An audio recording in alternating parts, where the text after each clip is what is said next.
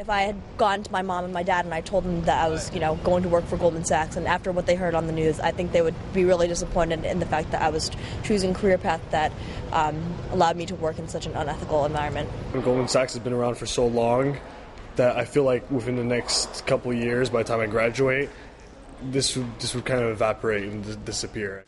You don't believe it's relevant to a customer of yours that you are selling a security to, that you are betting against that same security. You just don't think it's relevant and needs to be disclosed. Is that the bottom line?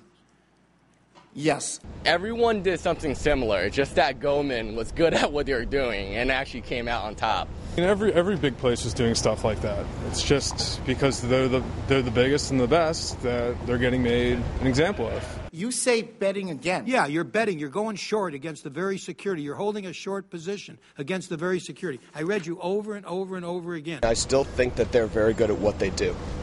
If you have a strong uh, business ethics, um, I think they could avoid this situation. We have 35,000 people and thousands of traders making markets throughout our firm.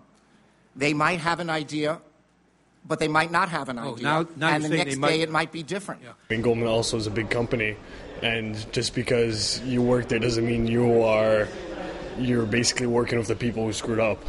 Look at what they do. I don't want to work for a firm that's going to end up like Lehman Brothers, go under. I want to work for a firm that's, you know, that's going to be consistent, that's going to ha- return, have profits even in some kind of recession like to, that we have today. Goldman, they're greedy, but like they say, they're long-term greedy. That's what I respect about them.